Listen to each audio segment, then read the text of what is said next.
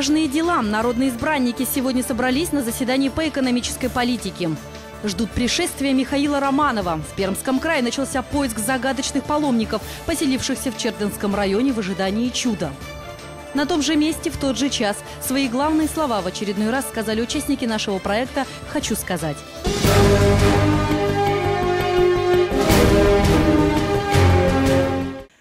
Новости на ТНТ в студии Елена Вавилова. Здравствуйте. Сегодняшний солнечный день задал тон работе березниковских депутатов. На заседании по экономической политике народные избранники обсудили важные для города вопросы. Евгения Кокшарова готова рассказать подробности. В повестку дня сегодня вошли вопросы согласования новых параметров семи действующих муниципальных программ. Например, на программу развития сферы культуры города Березники на 2014-2016 годы понадобилось 439 миллионов рублей, с учетом расходов в сумме 63 миллиона рублей на реконструкцию кинотеатра «Авангард». Планируется начать работы по «Авангарду» в этом году и завершить их в следующем году. Задача этого года – начать работы по эм, демонтажу крыши, усилению стен, установке новой крыши, ну и дальше пойдем вовнутрь. Объем финансирования программы развития физкультуры и спорта на 2014-2016 годы составил 422 миллиона рублей. Из них только 72 тысячи выделено из краевого бюджета.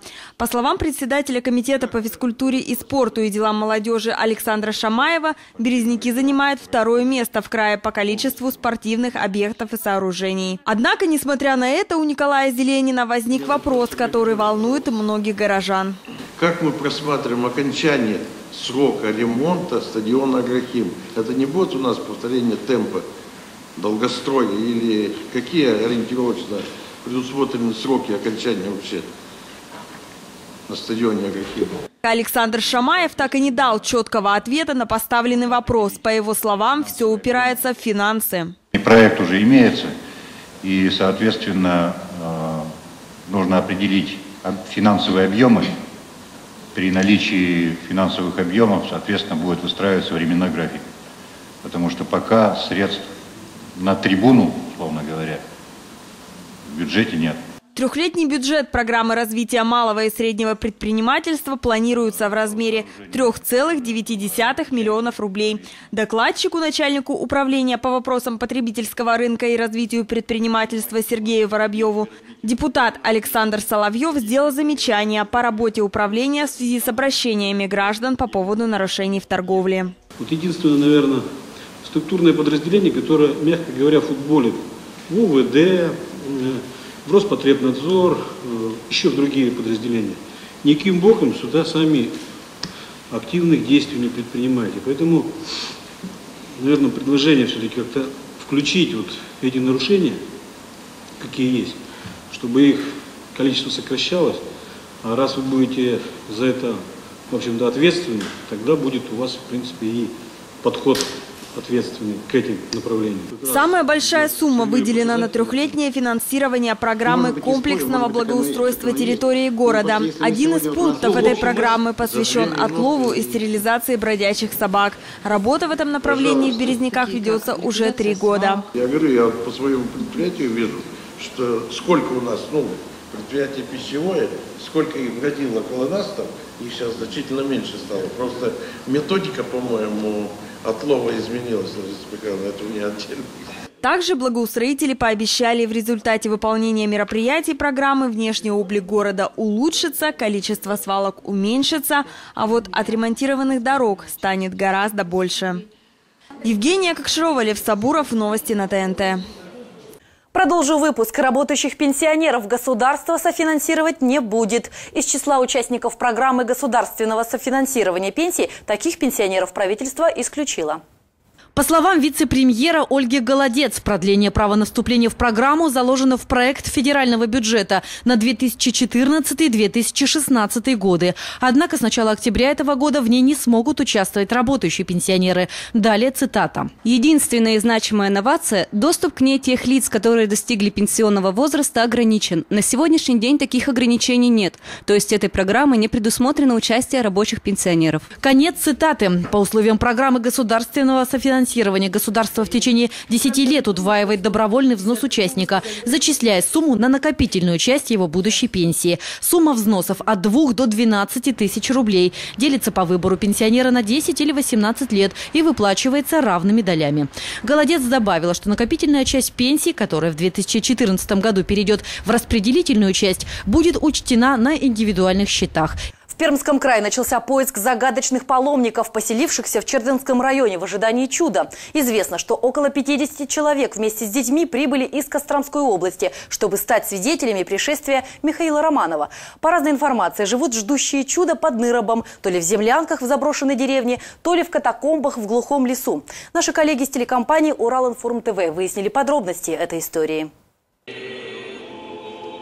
Место заточения Михаила Романова почитается верующими 17 века, а сейчас стало культовым для любителей всяких чудес. Про сохранившиеся кандалы первого мученика императорского дома боярина Михаила рассказывают удивительные истории. Новобрачные стремились к этим оковам прикоснуться, чтобы навеки соединить свои брачные узы. Такое было. Было такое поверье у местных жителей, что и скот излечить, излечить можно этими оковами. Накладывали на больных животных эти оковы и верили, что это помогает. Неудивительно, что под Ныробом объявилась группа людей, ждущих и главного чуда – пришествия самого Михаила Романова. А между тем Пермская епархия комментировать визит костромских паломников вежливо отказалась, но пояснила, что паломники к русской православной церкви отношения не имеют. Тем временем в Ныробской администрации информацию о паломниках не подтвердили, но и не опровергли. Может быть, но мы поиски не проводили – Потому что, как бы сказать, и заявлений-то от местных жителей, никого, ни от охотников, ни рыбаков, ни ягодников, ни, никого, никто ничего не говорит. Никто ничего не обращался. Сказали, э, чтобы, понимаете, у нас территория специфика еще, ведь тут много расположено э, учреждений ГУФСИНа. Соответственно, значит, народ уже как бы на любого постороннего реагирует болезненно. Если бы кого-то видели даже в лесу, то уже давно бы сообщили, или нам, или в ГУФСИН. Не было никаких обращений ни в полицию, ни в ГУФСИН, ни к нам. Появление паломников в Чердынском районе обсуждалось сегодня и в администрации Пермского края. Факт проживания под нырбом группы людей с малолетними детьми не исключен. Изначально информация поступила от э, Пермского епархиального управления Русской Православной Церкви. Информация, информация поступила о том, а, что в Чердынском районе а, присутствует группа людей, придерживающихся определенных религиозных взглядов. Речь идет о нескольких десятках человек. Среди них 6-8 детей в возрасте от 1 года до 14 лет. Условия проживания э, этих людей э, Э, позволяют сделать выводы о том, что э, жизни и здоровью детей, возможно, угрожает опасность. Олег Антонов, Ольга Ханжина. Час пик. В это воскресенье, 13 октября, в канун великого праздника Покрова Пресвятой Богородицы в Березняках пройдет крестный ход. Самый продолжительный из всех, что проводились в Березняках. Этот крестный ход организуется для того, как говорят священнослужители, чтобы мы вспомнили о глубокой и искренней вере наших предков, о разрушенных святынях, задумались о том, как мы сейчас живем и обратились к Богу в покаянии. Во время крестного хода будут отслужены молебны, установлены памятные кресты с табличками в двух местах. Возле проходной предприятия «Уралхим» в память снесенной Свято-Троицкой церкви в селе Веретье и на берегу Камы, близ бывшего села Дедюхина, где когда-то стояли Всесвятская церковь и Христорождественский собор мы решили провести крестный ход, дабы э, первое это принести какое-то покаяние в том, что очень многие из нашего вот, подрастающего поколения уже не помнят прошлого. Они живут, э, э, как Иван, не помнящий родства. У Бога, в общем-то, нелюбимых нет. Каждое чадо – это вот, действительно человек индивидуален, и Бог любит каждого из нас э, больше всех на свете, скажем так, да. И вот Он каждому, э, желая спастись, все-таки пытается нас научить жить вместе. 13 октября в 8.30 в храмах Иоанна Притечи, Никольском, Святой Мученицы Татьяны и в Успенском начнется божественная литургия. А после богослужения от них отправятся автобусы с участниками крестного хода. Так что верующим беспокоиться не стоит, преодолевать огромные расстояния пешком им не придется. Рубрика «Хочу сказать» набирает обороты. Четвертую среду наша съемочная группа работала в торговом центре Orange Mall, чтобы горожане могли сказать главные слова для своих любимых и друзей. В чей адрес они звучали на этот раз, Татьяна Александрова расскажет. Уже в четвертый раз наша съемочная группа дежурила в торговом центре Orange Mall. Смелых и активных жителей города самыми добрыми пожеланиями мы ждали на том же месте в тот же час. Первыми участниками нашей рубрики «Хочу сказать» в этот вечер стала компания подружек, которые решили поздравить свою одноклассницу Алену таким необычным способом. У нашей подруги Алены день рождения.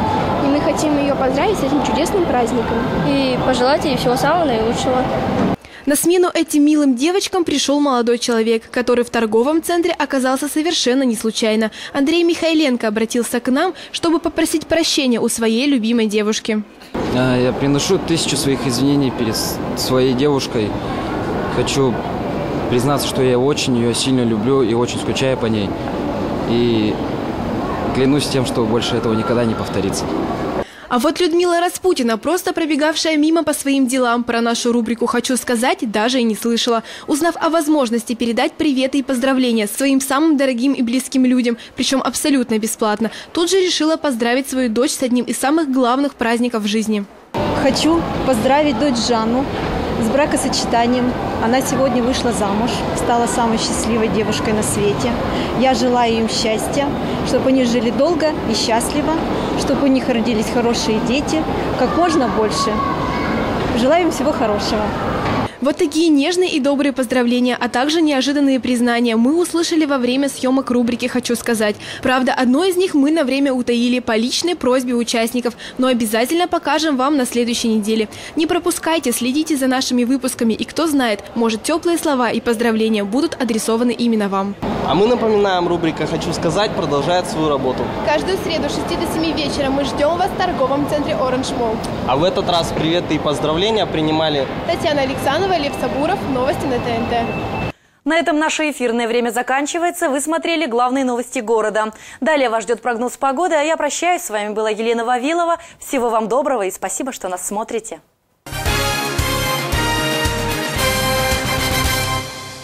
Спонсор прогноза погоды Климат Маркет технологии климата. Весь ассортимент климатического оборудования по низким ценам. Советский проспект 2. В Березняках 11 октября облачно, временами осадки. Температура воздуха ночью 0-2, днем плюс 2-4 градуса.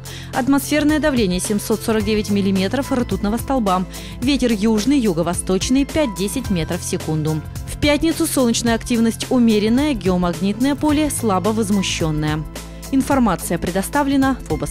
Вы должны знать. Ультразвуковой увлажнитель воздуха стоит 1300 рублей. Технологии климата. Звоните 29 25 99. Адрес нашего магазина Советский проспект 2. Территория Агроснаб. Кормить семью вкусно и проводить на кухне меньше времени возможно, если делать покупки в магазине Миско. Свежее мясо, мясные нарезки, фарши, котлеты, шашлыки и корейские закуски. Ммм, Миско. Березники, пятилетки 32.